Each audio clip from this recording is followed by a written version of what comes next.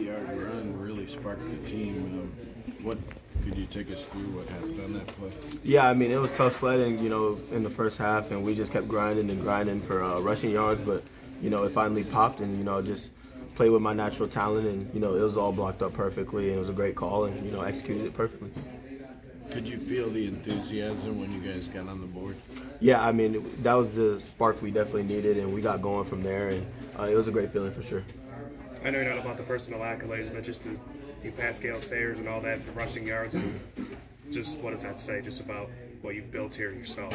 Yeah, I mean it feels it feels really good. Um, you know, it, it feels a lot better after a win, of course, but you know, I, I like I've always done, I give my credit to you know the people blocking for me and you know, it's been a great journey for me so far in my career, and I'm just super blessed to be in this position for sure. Coach Leipold said that there's a lot of respect for Cole, even as a freshman in that locker room. Yeah. We saw him, he got on the field, didn't look fazed at all. You mm-hmm. were right there with him. Can you just kind of talk about how impressive he was today? Yeah, I mean, that was extremely impressive, you know, and the the weird thing about it is we all kind of expected it from him, and that's just kind of our standard as a team, and it doesn't matter who goes out there. I've said it plenty of times, and uh, you know, he was super calm, and you know, he's cold as ice out there, and you know, I was just super proud to see what he was able to do. Devin, can you just talk about your thought process on that third and goal with the pass play from you? Yeah, I mean, we worked it um, all week, and um, you know, we have complementary plays. This is what we do, and so you know, we called it, and you know, they just played good defense on it. They read it, and you know, that was that. Did you tell Cole anything like throughout the game from what you were seeing? Did you talk to him anything specific to kind of give him some some advice at all? You know, I actually didn't need to. You know, he kind of just walked in the huddle and he was just calm and ready to go. And you know, I just think that that's a tribute to you know how he is and how he goes about his business and also his background. You know, he's been around some of the best guys, you know, and, um, you know, I think he's just kind of used to being in that type of position for sure. Was Casey the option, the only option on that pass? Uh, there was, Torrey was out on the flat too, but, you know, like I said, they played really good defense and they covered it all. I was wondering, have you ever thrown a pass before? In college?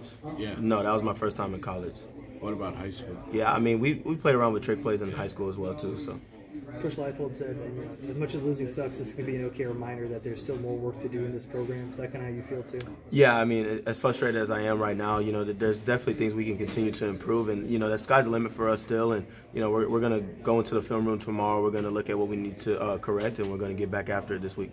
Devin being from Kansas, I mean, been a long time since the two teams yeah. entered this game with winning records yep. like that. Just what's your thoughts on this game? Uh, it's, it's a great feeling, you know, to be in this position, and you know, I'm super excited to play this team. You know, I have it circled on my on my uh, list each year, and you know, it's just gonna be a really fun game, and I'm super excited to play it. You know, you know quite a few guys over yep. there. Yes, sir. I have my cousins over there starting DB, so you know, it's just gonna be a great game, and I'm, I'm excited to compete against them.